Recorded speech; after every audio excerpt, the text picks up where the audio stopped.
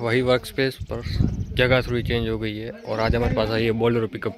जिसमें होने वाला है मदगार्ड चेंज और दो साइड ग्लासेस लगने वाले हैं हैंडल के साथ और फर्दर मॉडिफिकेशन भी होने वाले हैं तो बने रहिए चैनल पर और सब्सक्राइब करना मत भूलिएगा